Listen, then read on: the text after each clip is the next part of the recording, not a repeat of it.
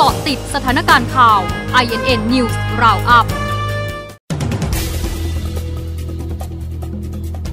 8นาฬิกา 12 นาที นายกรัฐมนตรีอวยพรปีใหม่ประชาชนขอให้ทุกคนระมัดระวังมากขึ้น ทบทวนสิ่งที่ผ่านมาวางแผนต่อไปในอนาคต ให้มีความสุขสมปรารถนาทุกประการ 8นาฬิกา 25 นาทีพบตรเซ็นเด้งผู้บังคับการตำรวจภูธรจังหวัดชลบุรีเส้นพิษบ่อนพนันต้นต่อแพร่เชื้อโควิด -19 8นาฬิกา37 นาทีหุ้นสหรัฐปิดบวกแต่ระดับสูงสุดเป็นประวัติการนักลงทุนขานรับแนวโน้มเศรษฐกิจปีหน้าดีขึ้น ลุนรัฐบาลออกมาตรการเพิ่ม ล่าสุด8นาฬิกา50 นาทีโฆษกกระทรวงการคลังเผยอยู่ระหว่างพิจารณาเปิดลงทะเบียนคนละครึ่งรอบใหม่หลังสิทธิ์เหลือ 4.9 แสนสิทธิ์ชี้รอหลัง 14 มกราคม 64